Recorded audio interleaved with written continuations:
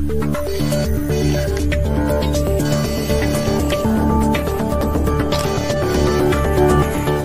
गर्छ। अनि हाम्रो पनि आफ्नो रणनीति छ जसलाई हामी हकिकतमा मैदानमा हामी उतार्नेछौँ। अ, गो- का- यो काम गरिरहेको छ हाम्रो नेतृत्वहरूले पनि गरिरहेको छ।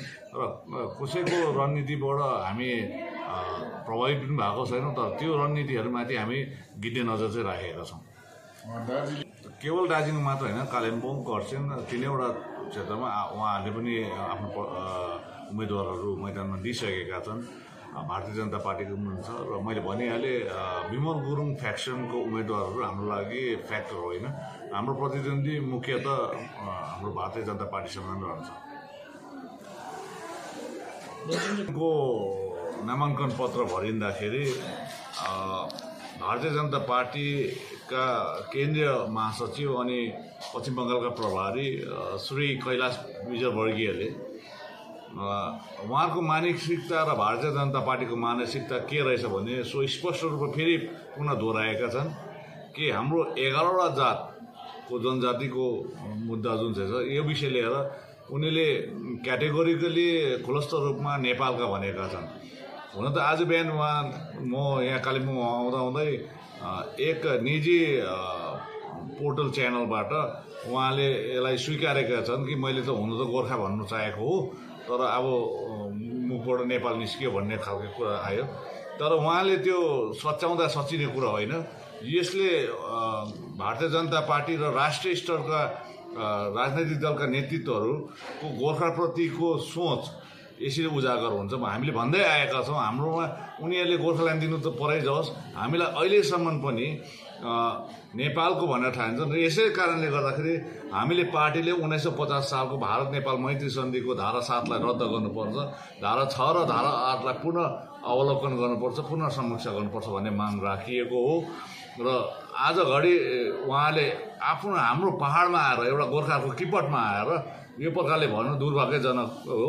र उहाँले बिना शर्त श्री कैलाश विजयवर्गीयले बिना शर्त भारतीय गोर्खाहरूलाई माफी मागेको हुनुपर्छ। जो हिजो नै हामीले अब आफ्नो पार्टीको अडान लिइसकेका छौँ अनि हिजो हामीले प्रेस विज्ञप्ति पनि जारी गरिसकेका छौँ। उहाँले केवल एउटा निजी पोर्टल च्यानलमा चाहिँ मैले यो स्वीकार गरेर भने मात्रमा नै हाम्रो घाउ जाति हुँदैन। यो घाउ एकदमै गाडे भइसकेको छ। त्यसले गर्दाखेरि उहाँले आधिकारिक रूपमा भारतीय जनता पार्टीको केन्द्रीय कार्यालयबाट आफ्नो प्याडमा गोर्खासँग माफ मागेको हुनुपर्छ। यो हाम्रो माग हो। र यो व्यापक यसको रोष आएको छ।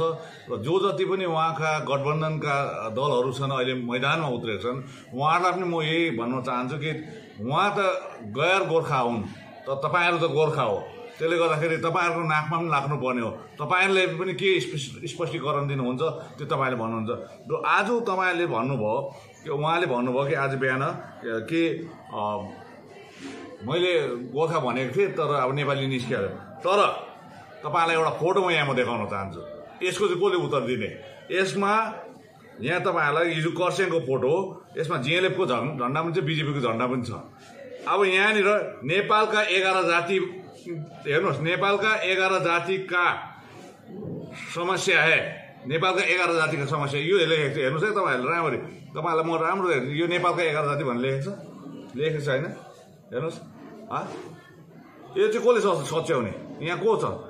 फ्ल्याग कसको? जिएलएफको छ बिजेपीको छ? हेर्नुहोस् हेर्नुहोस् हेर्नुहोस्। यो चुनाव चाहिँ नेपालमा हुँदैछ? नेपालमा एघार जातिको जनजातिको मा मागेको हो। अघि त बिहान त कैलाश विजय वर्गीयले मैले गोर्खा भन्नु पर्थ्यो नेपाली भनी पठाएँ नेपालको भन्। तर यो मेनिफेस्टोमा बिबी बजकाई पनि छ नरेन्द्र मोदीको नक्सा पनि छ। यतापट्टि राजु विश्व भाइ पनि छ। हाम्रो कल्याण देवन दाजु पनि छ। अब यो चाहिँ इस हेर्नुहोस्।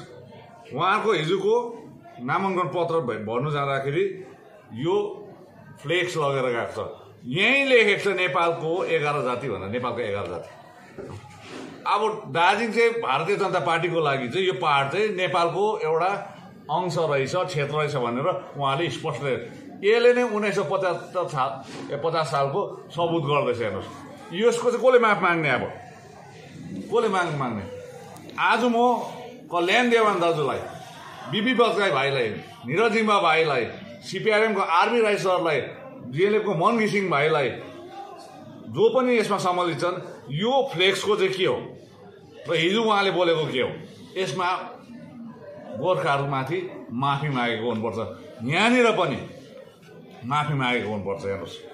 र यो चाहिँ अब हेर्नुहोस् मुखले भल बोल गल्ती भयो अरे। लेखाइमा पनि नेपाल तपाईँले ढाँटेको यो हेर्नुहोस् नेपालको हो। हेर्नुहोस्? यो सबैतिर आएको छ। यो मैले एउटा फोटो मात्रै लिएको छु। तपाईँले हिजोको उहाँहरूको भिडियो क्लिप आएको छ। कतिजनाले भन्ला यो चाहिँ एउटा के अरे कम्प्युटरमा अफर निकालेर भिडियो क्लिपमा पनि छ यो। तपाईँहरूले हिजो जहाँ उहाँ भर्दाखेरि जो न्युज पोर्टलहरू चलाएको थियो च्यानलले उहाँहरूमा पनि यो लेखेको छ। अब रातारात अहिले भन्ने बित्तिकै एडिट गऱ्यो भने त म जान्दिनँ तर पूर्ण रूपले यो सिन जुन देखाइएको छ यसमा नेपालका लेखेको छ। अब यसमा चाहिँ के भन्ने? त्यसले गर्दाखेरि हामीलाई गोर्खा जातिलाई आघात पुगेको छ। यसको चाहिँ बिना शर्त कै- कैलाश विजयवर्गीयले चाहिँ गोर्खा जाति प्र- प्रति चाहिँ माफी मागेको हुनुपर्छ। यो हामी चा चाँडै नै यो माग गर्छौँ। मानिसहरूको भनाइ छ अनि लेखाइहरू छ कमेन्ट्सहरूमा राजनीति बचाउनको निम्ति नै योपालि आफ्नो स्वतन्त्र उम्मेदवार दिएका छौँ अनि हामीले कोसिसँग एलायन्स पनि गरेका छौँ। तर अब उहाँहरूले गरी पठाए त्यसमा उहाँहरूको बाध्यता पनि होला। तर हामी चाहिँ क्षेत्रीय राजनीति बचाउनको निम्ति नै कम्मर कसेर अगाडि आएको छौँ। अहिले तपाईँले देख्नु भएको छ मैदानमा र त्यसले गर्दाखेरि यदि हामीले राष्ट्रिय राजनीतिक दललाई नै हाबी हुनु दियो भने यसरी नै हाम वचन खानुपर्छ। यसरी नै उहाँहरूको मानसिकता झल्काएर हामीलाई थिचोमिचो गर्छ। र विशेष गरेर भारतीय जनता पार्टीको चाहिँ म यो भन्न चाहन्छु तपाईँ अहिले इन्टरनेटको जमाना हो तपाईँहरूले पनि देख्न सक्नुहुन्छ। दुई हजार सोह्रमा आसाममा त्यति बेला उहाँहरूको भारतीय जनता पार्टीको सरकार थिएन अनि दुई हजार सोह्र पश्चात आएको भारतीय जनता पार्टीको। त्यहाँनिर जुन प्रकारको मेनिफेस्टो थियो त्यो मेनिफेस्टोलाई पनि कपी पेस्ट गरेर योपालि दुई हजार एक्काइसमा बङ्गालमा लगाएको छ। त्यसमा पाँचवटा त्यो मेनिफेस्टोको विषयहरू चाहिँ हामी गोर्खा जातिलाई पहाडलाई प्रभावित गर्नेहरू छ। अब त्यसमा चाहिँ तपाईँहरूलाई म भन्न चाहन्छु हामीलाई चाहिँ दुईवटा कुरोमा आपत्ति परिरहेको छ। अरू के दिएला के नदिएला त्यो उहाँहरूको अहिलेसम्म दिएको त छैन। तथापि हेर्नुहोस् दुईवटा कुरो के आपत्ति छ? भन्दाखेरि पश्चिम बङ्गालमा भोलि भारतीय जनता पार्टीको राज्य सरकार राज्यमा सरकार आउने बित्तिकै उनीहरूले एनपिआर एनआरसी लागू गर्छ भनिएको छ। यदि एनपिआर र एनआरसी लागू गरेको खण्डमा पहाडको बाह्र लाख मानिस बेगर हुन्छ यो आफूले नागरिकता प्रमाण गर्दा गर्दै उहाँहरूको जीवन जान्छ जो आसाममा भएको घटना हो। अर्को कुरो उहाँले क्याटेगोरिकली के लेखेको छ भने दुई हजार सत्रमा गोर्खाल्यान्ड आन्दोलनको सुरुवात त्योभन्दा अगाडि चाहिँ के भएको थियो भने बङ्गला भाषालाई पश्चिम बङ्गाल राज्यभरि एउटा इम्पोज गरिन्छ भन्दाखेरि यसको विरोध यहाँ भएको थियो जसमा पछि गएर यो टर्न एन्ड ट्विस्ट भएर गोर्खाल्यान्डको आन्दोलन भयो। आज भारतीय जनता पार्टीको मेनिफेस्टोमा यो लेखेको छ कि उहाँहरूको राज्यमा सरकार आउने बित्तिकै फेरि पनि बङ्गला भाषा चाहिँ यहाँ इम्प्लोज गर्छ भनेको छ। अब हामीले तेह्रजना गुमाइसकेको छ हाम्रो सन्तान फेरि पनि उहाँहरूको भाषाको इम्पोज गरेर फेरि पनि गुमाउने र यो चाहिँ तपाईँहरूले मेनिफेस्टो हेरिदिनुहोस्। मेनिफेस्टोमा यी गल्तीहरू लेखिरहेको छ। यी हामीलाई घातक कुरोहरू चाहिँ त्यहाँ लेखेकोले गर्दाखेरि हामी चाहिँ यसको विरोधमा छौँ।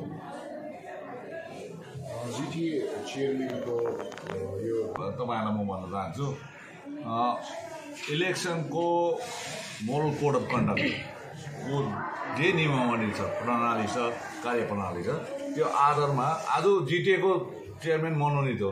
तर आज तपाईँले देख्नु हुँदैछ कि म्युनिसिपल कर्पोरेसनको मेयरहरूलाई पनि म्युनिसिपल म्युनिसिपालिटीको चेयरम्यानहरूलाई पनि हटाइएको छ कतिवटा जग्गामा। जस्तो तपाईँले ज्वलन्त उदाहरण अशोक भट्टाचार्य उहाँ मेयर थियो उहाँलाई हटाइएको थियो। केही कारणले गर्दाखेरि यो प्रभाव पारिन्छ कि भनेर यो चुनावमा प्रभाव पार्छ उहाँको पदले। पदको दुरुपयोग हुन्छ भन्ने हेतुले गरिएको।